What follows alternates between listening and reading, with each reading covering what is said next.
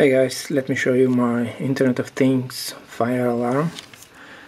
Basically it's really um, a cheap um, fire detection alarm both from eBay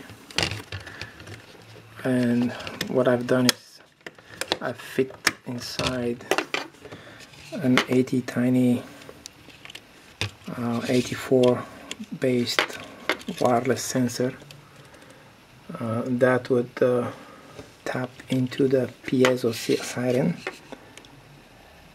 And upon activation it would make a wireless transmission to um, my home automation system running on a, Raspberry Pi.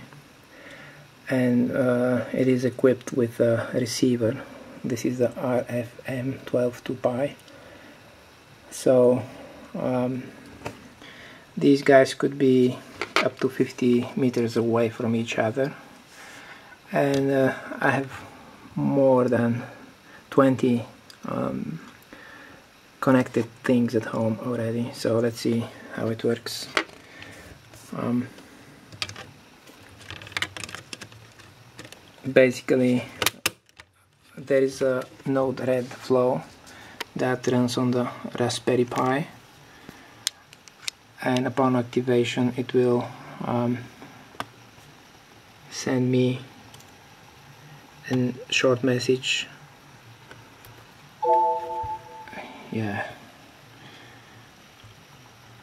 A short message a Pushbullet and email. All of these things so that I make sure that I receive the notification. So let's let's test it. And here's my phone uh, there's a test button here that would make a, a, transmission and if you look carefully you'll see the actual blink of the okay there you go. So uh, we have picked it up and my phone is going crazy with Pushbullets texts and emails alerting me that I have a, a fire at home. So basically this is it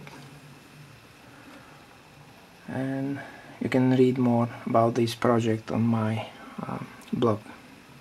Thanks